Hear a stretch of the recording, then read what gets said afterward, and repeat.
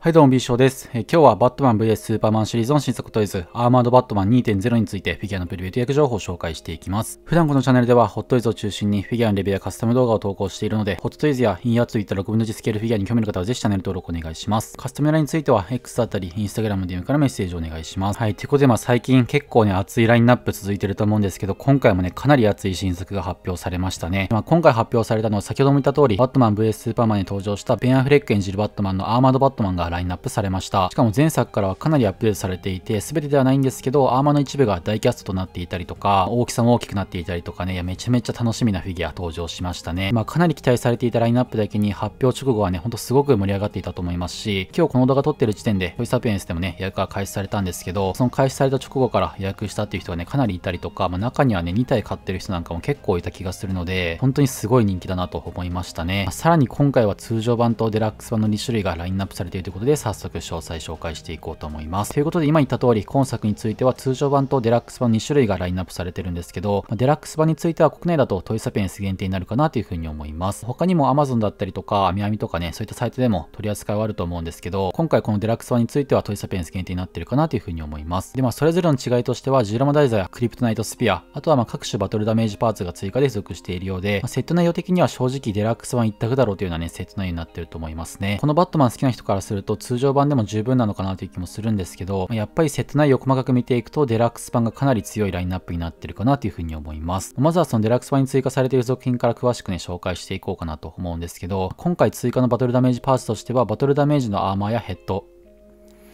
まあ、今回追加のバトルダメージパーツとしては、バトルダメージのアーマードヘッドやバットアーマーのセット、あとは表面に穴が開いたケープなどがね、付属するということで、スーパーマンとの戦いで負ったダメージがね、見事に再現されているようなパーツが付属しています。スーパーマンの目から放たれる熱線でただれた胴体のアーマーだったりとか、スーパーマンに実際潰されたような前腕のアーマーの形とかもね、造形すごい細かいなという印象なんですけど、やっぱり一番いいなと個人的に思ったのはこのヘッドの造形ですね。マスクが割れていて、顔半分が露出しているような見た目になっているのがね、めちゃめちゃかっこよくて素晴らしいなというふうに思いまいました。ダメージの様子っていうのはすごく細かく再現されていて、クオリティはめちゃめちゃ高いと思いますし、素顔もね、いい感じに再現されてるかなと思いますね。まあ、髭だったりとか肌の質感についても、まあ、かなりクオリティ高いものになってるかなというふうには感じました。まあ、表情も真顔ではなくて少し口を開いている様子がね、リアルな表情に見えるポイントだなというふうには思いますね。まあ、最近こういった少し表情に動きがあるヘッドっていうのがね、増えてきたのかなというふうに思っていて、まあ、それが個人的には本当嬉しいんですよね。まあ、好き嫌いっていうのはね、もちろん分かれると思うんですけど、クオリティが高いだけではなくて、まあ、俳優のリアルな表情に似ているというか、まあ、最近のフィギュアどれも眼球可動があるということもあるんですけど、まあ、余計にクオリティ高く感じるポイントなのかなというふうには思いますね。まあ、今作、ベンアフレックの素顔ヘッドはないので、そこはちょっと残念でもあるんですけど、まあ、デラックス版を買った方は通常のヘッドかこのバトルダメージヘッドを交換する感じになると思います。まあ、ただせっかくデラックス版買うんであれば、ディスプレイするのはね、このバトルダメージを負った表情で決まりかなというふうには思いますね。でもバトルダメージヘッドについては眼球可動もあるということで、ダメージの隙間からの覗く目線をね、変えることによって、ポージングをね、さらに楽しむことができると思います。でまあ、全身のバトルダメージアーマーについてもめちゃめちゃかっこいいなと思いますね。ただこの元の通常のアーマーについてはダイキャストで作られているんですけど、このバトルダメージ版のアーマーについてはちょっとどうなのかなというところはね、謎でしたね。詳しい方がいればね、ぜひコメントの方に書いておいてくれると嬉しいなと思うんですけど、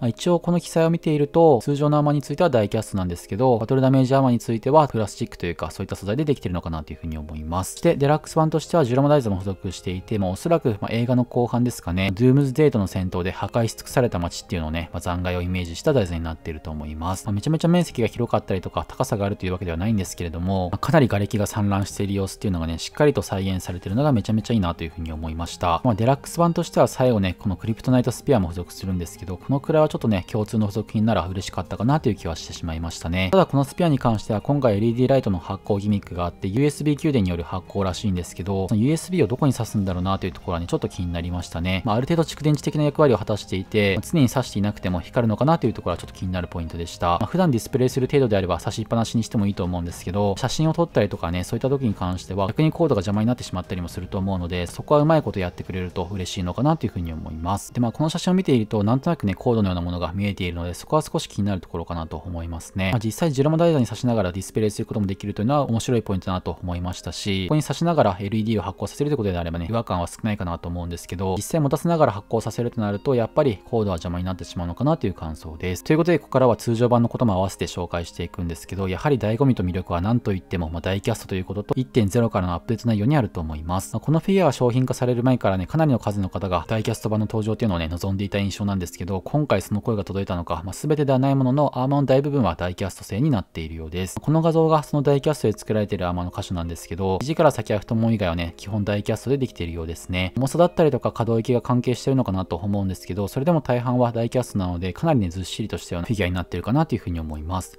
もともとこのベンアフレックバッツについてはね、まあ、重量級というか、まあ、結構高さもあったりとか大きさもね、あると思うんですけれども、やっぱりこのね、ゴツゴツとした見た目、アーマードスーツを着てるとなると、より一層ね、大きく見える姿がかっこいいなというふうに思いますね。で、まあ、このゴツゴツとした見た目の時点でかなりかっこいいと思うんですけど、そこにダイキャストというね、価値がついたことで、さらにロマン溢れるフィギュアに仕上がっていて、本当にかっこいいフィギュアになってると思います。そしてまあ、サイズ感だったりとか、アーマーの塗装や質感もね、前作と比較するとこれだけ変わっているというのもね、魅力的かなと思いますね。サイズも一回りとまではいかないものの大きくなっていると思いますし、まあ、金属のような質感のペイントも素晴らしいなというふうに感じます。まあ、こう見るとかなり高級感が増したというか、光沢感がありながらも表面に細かい傷がついていたりとか、そういった細かいところまでね、しっかりと再現されているのがすごいなと思いましたし、前の方が良かったと思うポイントについては今回ないんじゃないかなと思いますね。そのくらいしっかりとアップデートされつつ、クオリティも高いものになっていると思うので、可動域は狭いかもしれないんですけど、素立ちでも十二分に存在感のあってかっこいいフィギュアになっていると思いました。で、まあ、ケープは今今回布でできているようなんですけど、針金も今回ね、しっかりと入っていそうなので、ケープについても形を変えたりとか、そういったところはポージングをこだわれるような部分になっているかなというふうに思います。でもあと通常版のヘッドについてなんですけど、このヘッドについては、口元の交換パーツがね、3つ付属していたりとか、目の部分についても LED による発光ギミックが搭載されているようですね。ここもおそらく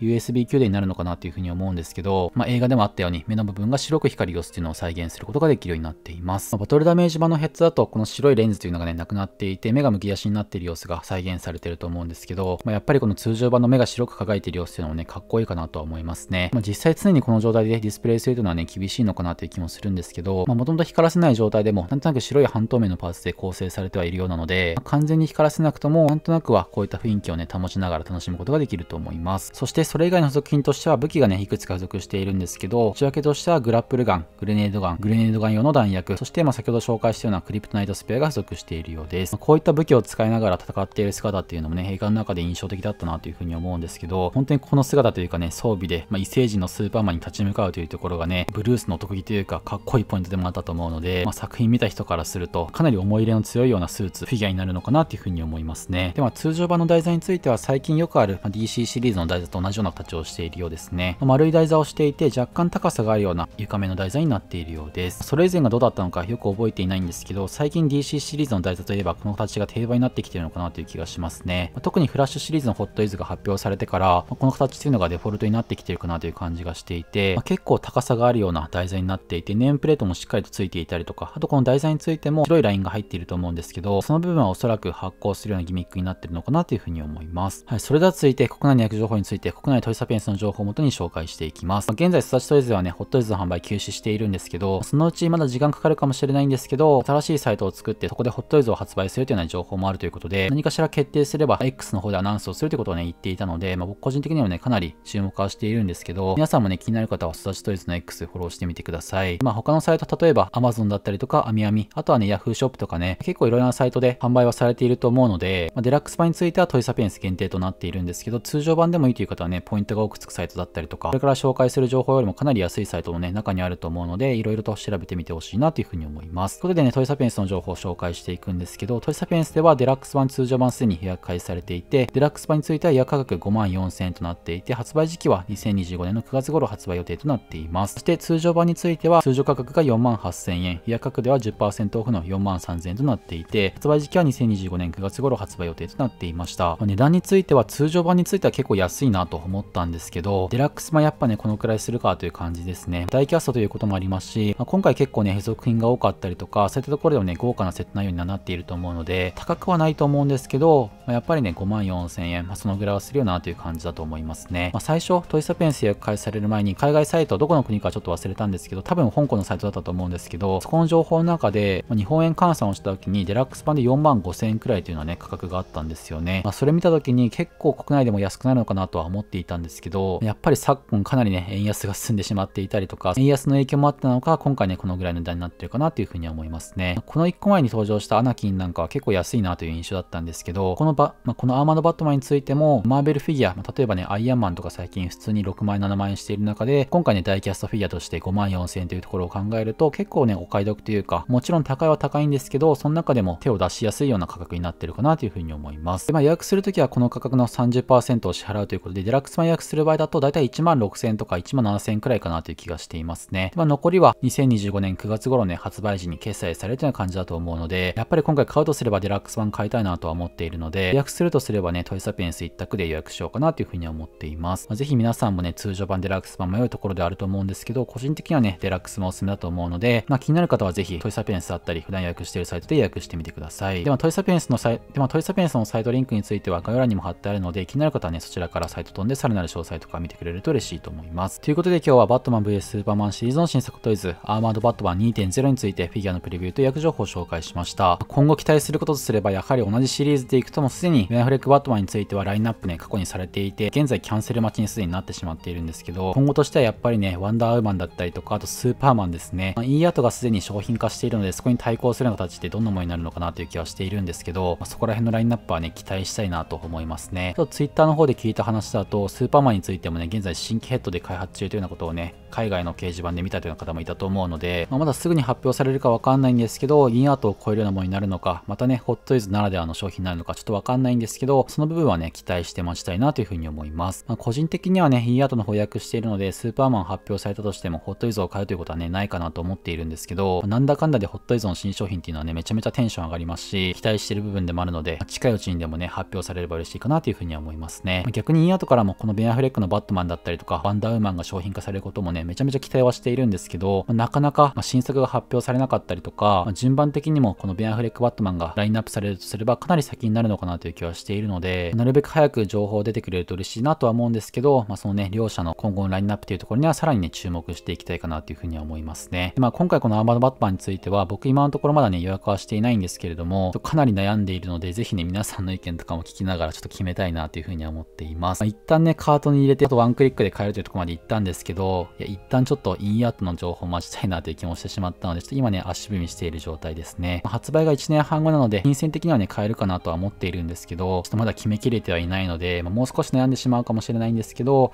本当にね、今回予約している方かなり多いと思うので、気になる方はなくなる前に予約してほしいなというふうに思います。まあ、このフィギュアとかね、発売後になるとかなり値段上がってしまうような気もしているので、まあ、かなりの人気フィギュアだと思いますし、後から後悔しないためにも先にね、買っておいた方がいいのかなというふうには思いました。ということで、この動画参考になったり、いいなと思った方はぜひチャンネル登録と高評価よろしくお願いします。概要欄に僕の X だったり、Instagram のリンクもあるので、そちらのフォローもぜひよろしくお願いします。それではまた次の動画でお会いしましょう。